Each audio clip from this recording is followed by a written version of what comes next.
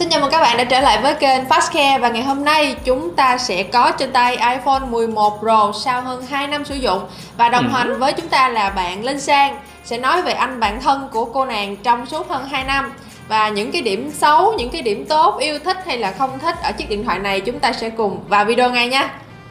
Xin chào tất cả mọi người, mình là Linh San và hôm nay mình ở đây để kể cho các bạn nghe hành trình 2 năm sử dụng iPhone 11 Pro của mình. À, cho mình hỏi câu đầu tiên đó là điều gì mà làm Linh Sang chọn cái điện thoại này? Ừm, lý do mà mình chọn iPhone 11 Pro là tại vì là thiết kế nó khá là nhỏ gọn, vừa tay và khi cầm thì khá là chắc tay. So với iPhone 11 Pro Max thì nó khá to so với tầm tay của mình nên là mình chọn iPhone 11 Pro. Ừ.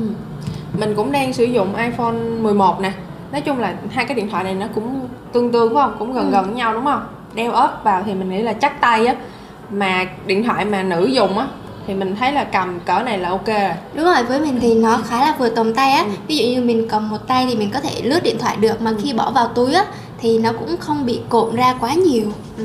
Rất là vừa túi luôn à, Cho mình hỏi thêm là Linh Sang thích nhất cái điều gì ở cái điện thoại của mình?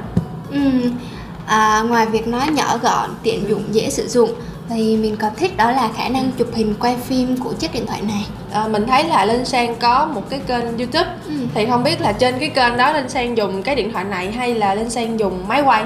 Ờ, về kênh YouTube của mình thì như mọi người thấy à, nếu mà đã, ai đã xem qua video của mình thì tất Ừ. cả cái việc mà đến quay, dựng, edit video thì mình đều thực hiện trên chiếc điện thoại iPhone 11 Pro này. Ừm, thêm một cái nữa là khi sử dụng chiếc máy này thì mình thấy là hiệu suất của máy này rất là ok tại vì mình là nữ thì mình không có sử dụng nhiều tác dụng như là chơi game thì mình chủ yếu là mình sẽ sử dụng chụp hình này, quay phim này, edit video, chỉnh sửa hình thì các app sử dụng chỉnh hình trên máy này rất là ok, khá là mượt mà trong việc thao tác và mình sử dụng thì mình thấy nó không có vấn đề gì cả Vậy là ý là tôi muốn hỏi là trong cái lúc ừm, edit á Ừ. mình có bị nóng máy không? Với lại cái pin của nó như thế nào? Ổn không? Ờ, theo như mà mình thấy mọi người đánh giá thì chất lượng pin nó khá là khiêm tốn Ờ. nhưng mà với mình thì mình nghĩ là do cách mình sử dụng thôi Ừ. ví dụ như là nếu mà trong một ngày mình thao tác liên tục quá nhiều lần hoặc là mình xuất quá nhiều video nó sẽ có nóng máy Ừ. và có thể sạc tầm 3 đến 4 lần Ừ. nhưng mà nếu mà mình sử dụng ít hơn hay là thao tác nhẹ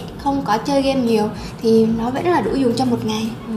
Với lại cái màn hình này á nó cũng giống tương tự với màn hình của iPhone 11 nè tôi thấy cái tay thỏ này nè ừ. à, thì nó so với cái việc là bà sử dụng để edit video hay là xem tiktok thì nó như thế nào Ờ, ổn không Ừm, với tôi thì màn hình này nó vừa mắt rồi, nó Ừ. vừa tầm mắt đủ để mình xem phim, lướt YouTube, lướt Facebook mà không có bị khó chịu hay là vì màn hình quá nhỏ. Ừ. Và với nữ dùng thì mình thấy máy này nó khá là hợp rồi, vừa với cái tầm sử dụng của mình. Ừ.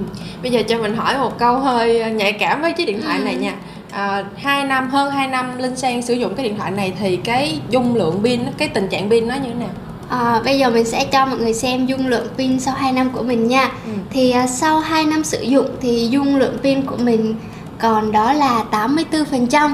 Thì không biết là theo trang đánh giá thì 2 năm thì còn 84% là mình dùng có ok không? đối với nữ dùng mà Ừ. hơn 2 năm mà sử dụng edit video cũng nhiều nè rồi cơ bản là cái điện thoại này cái pin nó đã không bằng những cái dòng khác rồi thì Ừ. mình nghĩ là đây cũng là cố gắng thì nó cũng đã cố gắng hết công suất của nó rồi. Đến giờ này nó còn như này nó nó hợp lý rồi.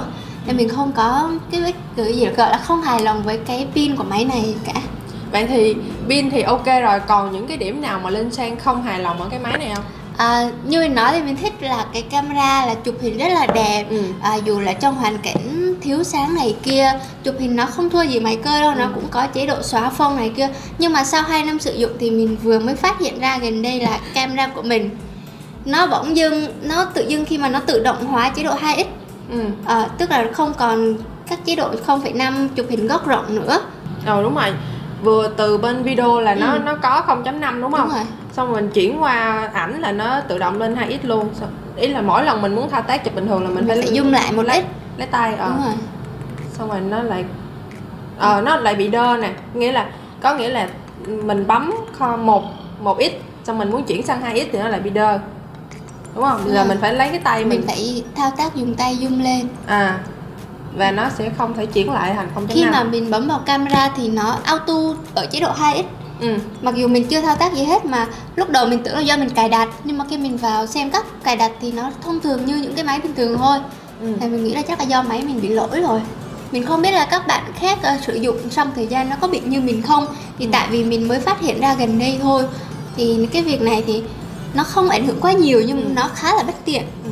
trong việc các thao tác chụp hình của mình ngoài ra thì ngoài cái cái lỗi này thì mình à, quay phim chụp hình uh, up lên story hoặc là tiktok youtube thì vẫn ok vẫn ok nó à. vẫn là hd nó là rõ rất là chất lượng ừ. không có vấn đề gì cả lúc nãy á, mình mình thấy cái cái điện thoại này nó có ba camera ừ. nói chung là ban đầu á mình nghĩ iPhone 11 Pro nó có cái góc siêu rộng nè rồi nó có có thể chỉnh zoom ra thì mình cũng ừ. ok rất là rất là ngưỡng mộ nó tuy nhiên là bây giờ mình nhìn lại cái điện thoại của mình hai con mắt này xài ok là mình cảm thấy may mắn là nó không bị lỗi tới giờ phút này. Vậy thì uh, linh sang còn có cái lưu ý nào muốn gửi đến các bạn uh, khi mà các bạn chuẩn bị chọn mua những cái dòng điện thoại iphone không ạ? Ừ, có. Đó là khi mà mình mua chiếc điện thoại này á mình không nghĩ là mình sẽ thao tác nhiều đến vậy. Nên là mình chỉ mua cái này với dung lượng là 64 GB thôi. Ừ. chính vì vậy mà lúc thao tác mình rất hay gặp lỗi đó là hết dung lượng chính vì vậy mà khi mà cái điện thoại nó hết dung lượng á là mình không thể vào được bất kỳ cái app nào hết kể cả Facebook hay là Map không vào được app gì cả. Thì mình phải bắt đầu là phải xóa xóa lại hình ảnh xóa video xóa bộ nhớ thì mới thực hiện được các thao tác bình thường. Ừ. thì mình có một lưu ý cho các bạn là khi chọn điện thoại thì nếu mà các bạn có nhu cầu chụp hình quay phim nhiều thì nên chọn một chiếc máy có dung lượng lớn hơn một tí À, vậy thì hồi nãy giờ là linh đang chia sẻ những cái yêu thích nè ừ. những cái không thích và những cái mình khó chịu đối với cái iPhone 11 Pro này thì uh, trong tháng 3 này và đặc biệt là trong năm 2022 thì Apple sẽ cho ra mắt nhiều siêu phẩm đặc biệt là iPhone 14 thì không biết là Linh có Linh có muốn là mình lên đời iPhone không? Ví dụ như là 12, 13 hoặc là chơi lớn luôn mình làm cái iPhone 14 luôn không? À, hiện tại thì mình chưa có nhu cầu tại vì mấy cái lỗi này thì mình vẫn còn chấp nhận được ừ. nhưng mà biết đâu trong tương lai mình sẽ xuất hiện ở đây và review cho các bạn trải nghiệm về một chiếc điện thoại mới mình đang dùng thì sao? Mình cũng rất là mong chờ cái video đó thì có thể thấy linh xuất hiện trên kênh này. Và nãy giờ thì à, Vân Trang và Linh Sang cũng đã review cũng như là tóm tắt lại quá trình sử dụng gần hơn 2 năm à, những cái lỗi, những cái yêu thích đối với chiếc điện thoại iPhone 11 Pro. Mong rằng qua video này thì các bạn đang có ý định muốn mua dòng điện thoại này có thể có cho mình cái sự lựa chọn, sự cân nhắc thích hợp. Và cảm ơn các bạn đã theo dõi video. Đừng quên đăng ký kênh YouTube của Foxcare để có thể xem thêm nhiều video thú vị. Còn bây giờ thì xin chào và hẹn gặp lại các bạn trong những video lần sau.